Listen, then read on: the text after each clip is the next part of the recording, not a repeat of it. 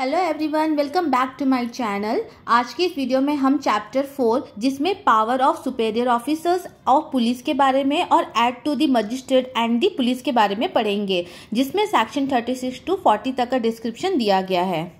Section 36 जिसमें वरिष्ठ police अधिकारियों की शक्तियों के बारे में बताया गया है। वरिष्ठ पुलिस अधिकारी कौन होते हैं? जो स्थानीय क्षेत्र होता है, जहाँ का हेड जो होता है, वो एसएचओ होता है मतलब स्टेशन हाउस ऑफिसर्स जिसे इंस्पेक्टर्स भी कहते हैं, वो होता है। और उसके जो सुपेरियर ऑफिसर्स कौन होते हैं? D S P S P S DSP SP SSP ACP etcetera ये सभी होते हैं। जितने भी सुपेरियर ऑफिसर्स होते हैं वरिष्ठ पुलिस अधिकारी होते हैं, वो उस क्षेत्र की शक्तियों का प्रयोग कर सकते हैं, जो उनके थाना की सीमाओं के अंतर्गत आते हैं। नेक्स्ट हम सेक्शन 37 देखेंगे, जिसे मजिस्ट्रेट और पुलिस को सहायता के में बताया गया है। जनता कब मजिस्ट्रेट या पुलिस की सहायता करेगी? मजिस्ट्रेट या पुलिस अधिकारी, जनता को कब यह आबद्ध करता है कि वो उसके कार्यों में उसकी सहायता करे, उसे अपने में ऐड करता है? उसकी रीजन ये है कि यदि किसी प्रकार से पुलिस या मजिस्ट्रेट किसी व्यक्ति को गिरफ़्तार करता है, या उसे गिरफ़्तार करने के लिए प्राधिकृत होता है, उसे पकड़ना चाहता है, या उसके हाथों से वो ना निकल के भागे, इसके लिए वो उसे रोकना चाहता है तो ऐसे में पुलिस अधिकारी के पास कोई रिजनेबल डिमांड होनी चाहिए, जिसके लिए वो जनता को आबद्ध कर सके कि वो उसकी सहायता करे। उसके बाद यदि उस व्यक्ति द्वारा किसी प्रकार की उस क्षेत्र में उस परेशानी भंग की जा रही है तो उसका रोकने के लिए भी वो जनता को अपने साथ ऐड कर सकती है। साथ ही उस क्षेत्र के किसी रेल, नहर, तार या लोक संपत्ति को क्षति पहुँचाने का प्रयत्न किया जा रहा है तो उसे भी रोकने के लिए वो जनता को ऐड कर सकती है। पर इसके लिए भी उस पुलिस अधिकारी के पास क्या होना चाहिए? एक रिजनेबल डिमांड होनी चाहिए। बिना रिजनेबल डिमांड के वह उस जन, जनता को अपने साथ ऐड नहीं कर सकता है।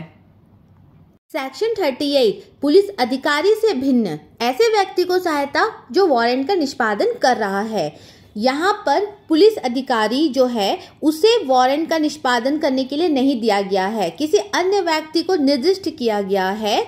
ऐसी स्थिति में जो एक अन्य व्यक्ति है, ये ठीक उसी व्यक्ति के बगल में ही खड़ा है, जो कि वारंट का निष्पादन का कार्य कर रहा है। तो वह उसकी सहायता कर सकता है। सेक्शन 39 के अंतर्गत बोलता है, कुछ अपराधों का जो इन्फॉर्मेशन है, वो जनता के द्वारा दिया जाना। आईपीसी के अंतर्गत कुछ ऐसे अपराध है जो कि यदि किसी व्यक्ति द्वारा किए जाने की अगर आशंका होती है कि वो व्यक्ति उस अपराध को कर सकता है, जैसे कि ये सारी की सारे सेक्शन यहाँ पर दिए गए हैं। अगर इससे रिलेटेड किसी व्यक्ति को यह इन्फॉर्मेशन होता है कि यह अपराध किसी व्यक्ति के द्वारा किया जाना है तो वो क्या करता है? तुरंत अपने नियरेस्ट मजिस्ट्रेट या पुलिस अधिकारी को उसकी सूचना दे सकता है। लेकिन जो भी व्यक्ति यह सूचना दे रहा है, यह उसे ही साबित करना पड़ेगा मजिस्ट्रेट और पुलिस के सामने। सामने की जो भी वो सूचना दे रहा है वो पूरी पर्टिकुलर जैनविन है। सेक्शन 39 जिसमें ग्राम के मामलों के संबंध में नियोजित अधिकारियों के कर्तव्य रिपोर्ट करने का कर्तव्य।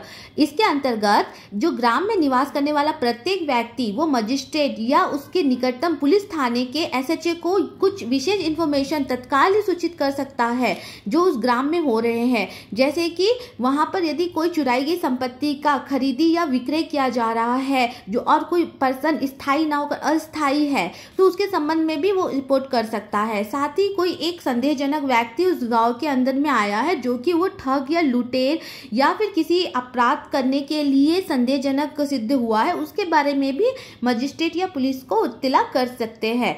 साथ ही आईपीसी के जो सेक्शन होते हैं 143, 144, 145, 147 एंड 148 जो कि अपराधों से दंडनीय होते हैं अगर इस प्रकार के कोई भी अपराध निकटतम गाँव में हुए उसके संबंध में भी वो इन्फॉर्मेशन दे सकते हैं मजिस्ट्रेट या पुलिस को। या गाँव में किसी आकस्मिक मृत्यु हुई है किसी पर्सन की या कोई एक ऐसा शव मिला है जो कि संदेहजनक स्थिति में है तो उसके बारे में भी वहाँ के निकटतम पुलिस थाने के एसएचओ को या फिर मजिस्ट्रेट को इन्फॉर्मेशन दे सकते हैं।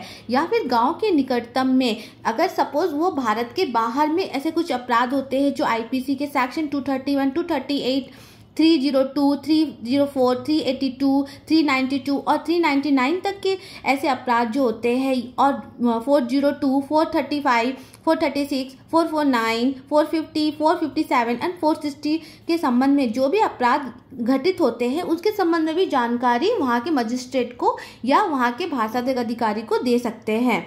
साथ ही यदि जो जिला मजिस्ट्रेट होता है, राज्य सरकार को कोई विशेष जो आदेश होता है, जिसमें उसने यह बताया है कि गाँव में किस प्रकार से व्यवस्था बनाए रखना है, अपराधों का निवारण कैसे करना है, या किसी संपत्ति से रिलेटेड जो क्षति पहुंचाई जा रही है, उससे रिलेटेड अगर किसी भी प्रकार का उसने निर्देश दिया है तो उसके संबंध में भी वह सूचित कर सकता है। इस प्रकार हमारा आज का वीडियो यही एंड होता है।